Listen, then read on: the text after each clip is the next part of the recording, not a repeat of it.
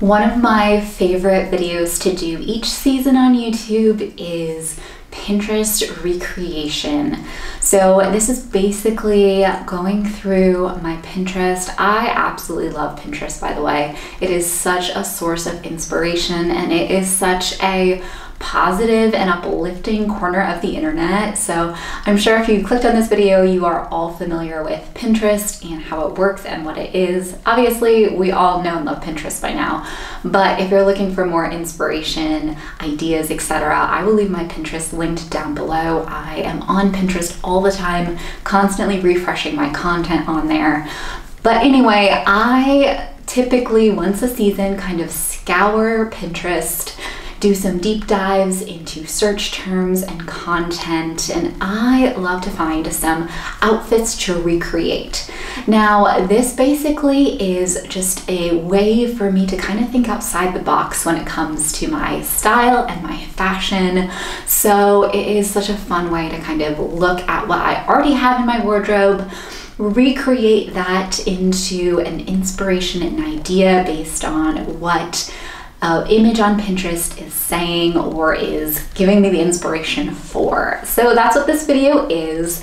It's going to be a bit of a voiceover, a bit of a lookbook so that you can all maybe gain some inspiration on how to put together looks in your own wardrobe, how to shop your own closet, how to potentially feel like you need to buy less this season as we're going into the kind of late fall and early winter months of the year. So let's dive right into Pinterest recreating outfits for late fall, early winter. This first look is a slightly more colorful, casual look that I saw and just thought that that would be the perfect Christmas decorating, cozy day look, or even a more casual work from home look. It is a just such a fun play on proportions. I absolutely love the straight leg denim with then the chunky knit and then also the juxtaposition of kind of the more feminine top with the ruffles. So this was my recreation of it. I had a green sweater. The sweater from Alex Mill is such a go-to for me in my wardrobe. I absolutely love it. The only thing I didn't have for this look that I do really feel like pulls it all together are the loafers. Now I have a few different types of loafers, but none that are more of this penny loafer style. So I do think that instead of Birkenstocks, if you have a pair of brown or black loafers, that this would just really pull the outfit together and really do a very good job of recreating what this lovely woman has in this outfit. This second look definitely trends on the more early fall, but where I live in South Carolina, sometimes you still have days in November that are 75 degrees. So I adapted this a little bit more for late fall style, switching out the sandals for a pair of closed-toed low Sézane Jack sneakers.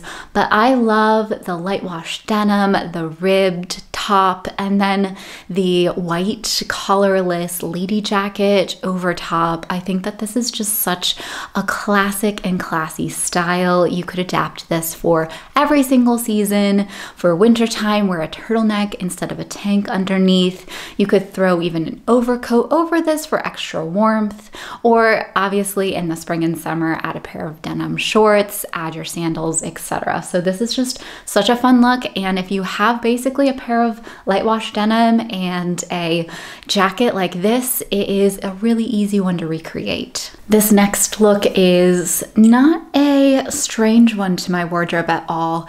I actually wear a variation of this outfit maybe once a week in the wintertime and fall time. I absolutely love it. So basically, if you do not have a midi to long length, neutral colored sweater dress of sorts, get yourself one. There are so many beautiful styles this year at every single price point. My exact dress I bought in London last year for I thought is a very reasonable price and I wear it all the time. So I'm just pairing it here with my Everlane glove boots.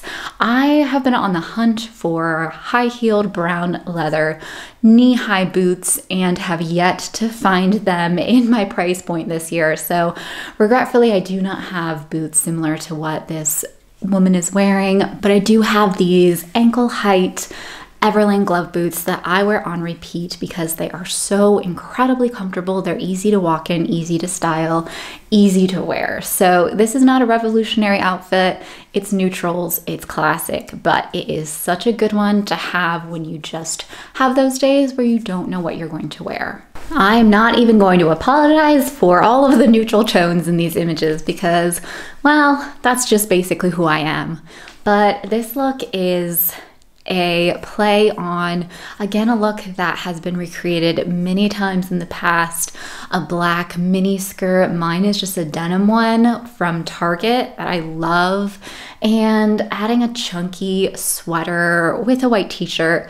My sweater happened to be a pullover instead of a cardigan, and I think that that's such a good tip is when you're looking at these Pinterest inspiration images, that's what they are. Use them as inspiration. Don't feel like you need to go out and buy exact pieces that are featured in this video on Pinterest, etc. Use what you might have in your own wardrobe. Fill in the holes where needed, but if you see a chunky cardigan and you have something similar in a pullover, then use that instead. Work with what you have. Don't feel like you need to copy exact looks because at the end of the day, style is about your own personality shining through with the pieces you put on your body. Monochrome outfits are one of the easiest ways to maybe play around with your sense of style while not going too far out of your comfort zone.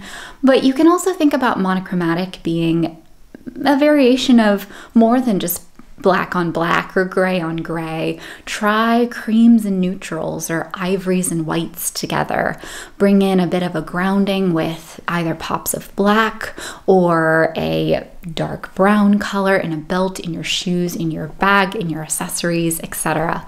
But I love this outfit because again, it plays with proportions really well with the slightly cropped pant, the ankle boot, so you see more of the boot instead of uh, maybe more bell bottom, top bottom that then covers your shoe, etc. So this is just such a really lovely classic outfit that you could wear for so many occasions. I've seen this outfit floating around Pinterest for a while now, and I knew that I wanted to recreate it at some point, but thought I kind of had to wait for those perfectly bell bottom flare style jeans to come into my life.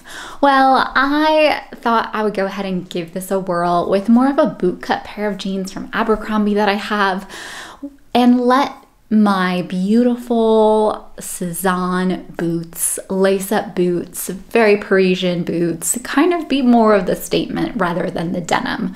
So I think that having a statement piece like a pair of boots tied in with a beautiful hair scarf in your hair is just such a really lovely way to again do a recreation of an outfit that inspires you instead of doing an exact replica or copy of it. But find yourself a pair of great boots. I think that that's a theme in this entire video. A pair of really good ankle boots, no matter the color, is going to last you for years and years to come and will be a staple and beautiful piece of your wardrobe.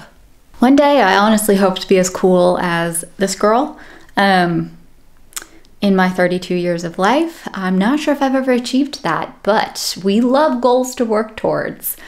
But on a more serious note, this look is super easy to recreate. Just grab a pair of denim, any pair of denim that you have, a puffer jacket. I'm sure you have one in your wardrobe from years past. They're coming back, which I am thrilled about.